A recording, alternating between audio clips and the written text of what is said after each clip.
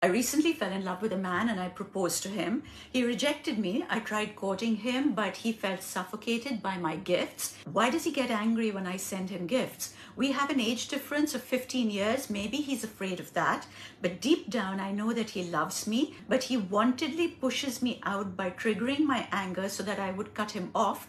I have no idea why. Last week, he broke up with me after 37 times of blocking me. He says that he doesn't want to see me again. Do you think it is just sexual frustration? Because this is a long distance relationship and we have never even met once. I know that he loves me, but how do I make him understand that he actually loves me?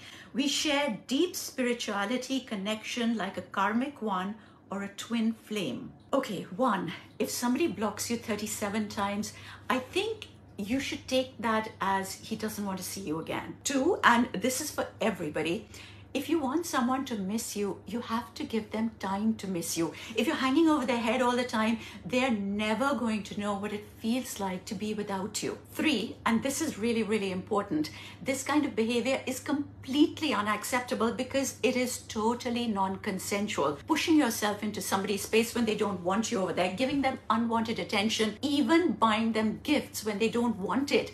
It's not cute this is sexual harassment. Frankly, you have to stop now because if you don't and it gets out of hand, they can take legal action against you. You know, consent is not just about saying yes or no for sex, it is about respecting the other person's space in every aspect of their lives.